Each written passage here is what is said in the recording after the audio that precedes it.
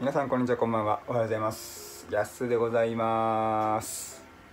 白血病という病生活の気晴らしいね自宅から動画を配信していきます。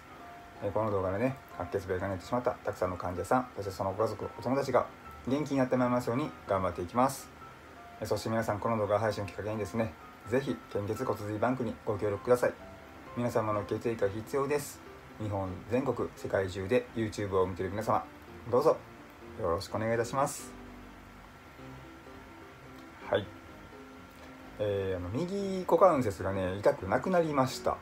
これねもうほんまに気がつけばなんですよ。あの床にねこのうつ伏せに寝るこの瞬間にねあの上体反らしのような格好をした時にねこの痛みが走ったっていう股関節なんですけどもそれがあの約2週間前にね発症しましてですねその股関節の痛みがいつの間にかね消えていました。これはねどういったことなんでしょうかね。この恐れられていたね大腿骨頭位支症が消えたのか、まあ、治ったのか分かりませんが、まあ、治るのにはね年単位の時間がかかるみたいなので、まあ、治ってる気はしません。けどあのね診断されたわけでもないので発症してるとかも僕には分かりません。ただ痛かっただけで痛いのが今は収まってるだけなんです。こうなんかね、あのもしその大腿骨の病気であったとしても病気に気づかずにいてその一時的に痛みが収まっている状態がただのその座骨神経痛だとね勘違いする患者さんも多いらしいんですよ。ほんでねそのこの病気というのは、まあ、例えば木造建築で例えるならですね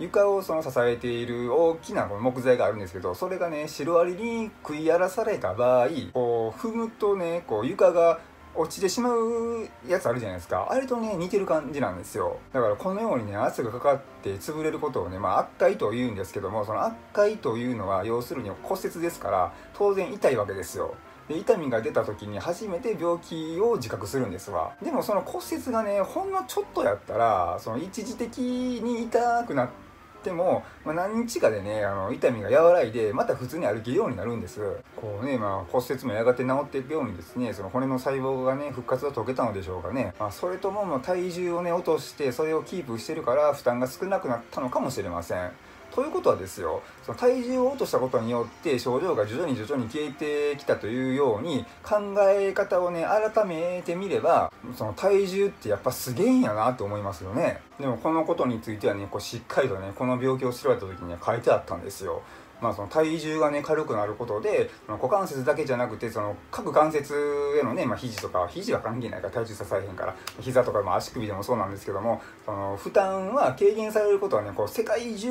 のねたくさんのねあの実験でね証明されていることなんでもう答えはね明らかなんです。しかしですねその僕はこの股関節に痛みを感じたのはね、まあ、半年ぶりの2回目なんですけどもその再発したんかなと思ったんですよ。だからこの2週間前にね動画でお話ししたんですけどもね。でもその時はその病気の再発ではなくてですねその悪化がね繰り返された結果その痛みが再度出てきたということが考えられます。こういうのはね自覚症状でしかわからないものなのでねその悪化が止まっているその時期っていうのを挟むことでこの次のタイミングの悪化がやってきたことによってうわー大体骨粗栄師匠が再発みたいなねそういうふうに思ってしまいがちだそうです。まあ、これもね、ただの勘違いかもしれませんしね、まあ、先ほども言いましたけどもね、まあ、ただの座骨神経痛かもっていう人もね、いてますしね、ていうか座骨神経痛も大した病気ですからね、結構痛いと思いますよ、あれも。だからね、こういった症状が似てるっていう病気がね、もう世の中にね、多すぎるんですわ。あとインフルエンザやと思ったらただの風邪やったとかもあるでしょそのようにですね、ほんまに様々なんですよ。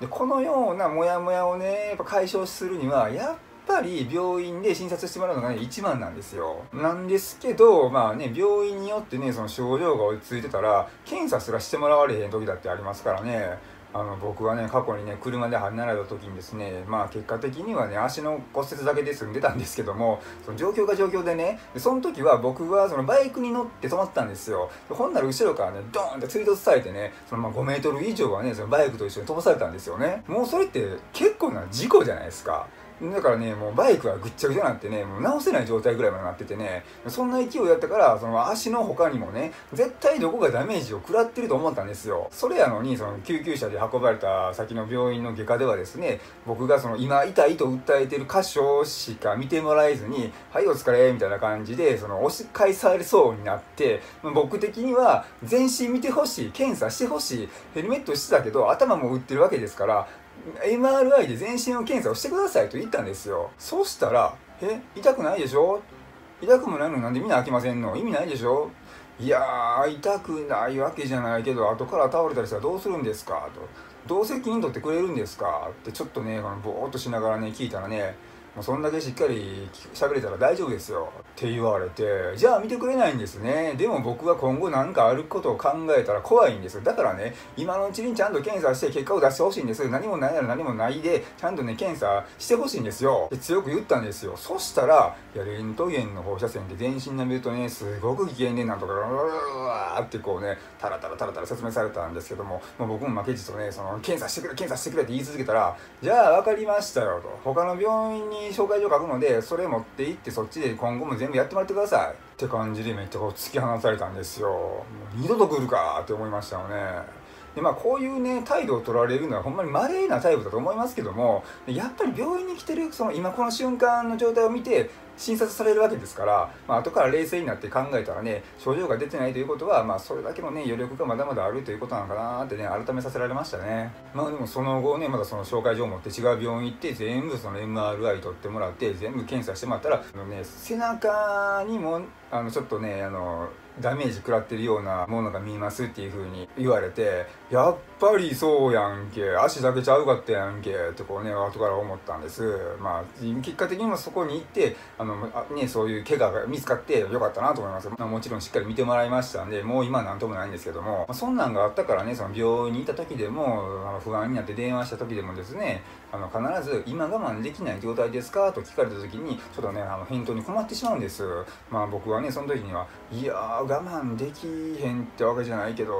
ってこう言った日にはですね「ああそうですか。うん。じゃちょっと待ってくださいね」って言って先生にこう話を、ね、電話止められて保留にされて先生に聞きに行ってるんでしょうね。でそれで次の電話が返ってた時にあのじゃあまた様子を見てもらって症状がひどくなったらまた電話してくださいって言われるしでもこの前のねその5月末になった帯状疱疹の時みたいにですねもう我慢できませんってこう電話で言うたらもう分かりましたすぐ来てくださいってこう言ってもらえるのでほんまに病院側っていうのはその時その瞬間の、えー、状態状況で判断するものだと思いました。でもねやっぱ我慢できへん時っていうのは救急車呼ぶかもうすぐ自分で病院に行きますよね。行ってますよね。だからねこう、まあ、過去の他の病気の症状などと、えー、まあ、今回のね自分がもし痛いって言ってるところなどをこう比べてしまってもし過去よりも今の方が我慢できるのであれば我慢してしまうわけなんですよ。ほんまに僕の最近のことで言うならその股関節の痛みっていうのはね先ほども出てきました帯状疱疹とね実は比べてしまってたんです。だからねまあちょっと我慢してたこともあったんですけども、まあ、このようにねいろんなことを考えてしまいます。でもまあ今回はねおかげさまで股関節の痛みはもう何ともなくなってるので良かったです。でも実はねあの前回ねこの痛みの動画を今2週間前にねあの動画でね皆さんに聞いてもらった時にですねいつもコメントくれる姉さんにね病院に連絡することは考えてないの？ってねいただいたんですよコメントでね。でもね実はねそう痛いけど先ほども言いましたようにその我慢できる痛みやったんですよ。でもね過去に僕はね皆さんにねこの動画を通してですね少しでも異変を感じたらすぐに病院に相談してくださいってね言ったのにもかかわらずね自分がしてなかったことをねすごい悔やんでいます。すごく反省してます。姉さんすいませんでした。だからねその、ま次ねまた発症したらねもう3回目ということなのでちゃんとね次はね病院に連絡してね対処してもらいます、まあ、そんな感じでね今回はですね股関節が痛かったけどもういつの間にか痛くなくなってたというお話でございました、えー、今日は以上です、えー、最後まで見ていただきましてありがとうございました。この動画がいいと思いましたらグッドボタンとチャンネル登録をよろしくお願いします。そしてねこの動画このチャンネルがよりたくさんの方々に届きますことを願っております。本日もご視聴ありがとうございました。バイバイ。僕は元気です。